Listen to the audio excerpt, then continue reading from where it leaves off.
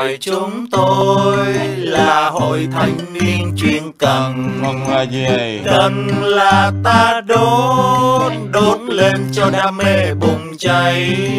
Tình thân cậu và tớ Chia nhau mấy hộp xôi vì thằng nào cũng muốn nhai. Khi anh quân mỏi tay tôi sẽ quân tiếp thay tôi không chuyên cần gian vừa đâu.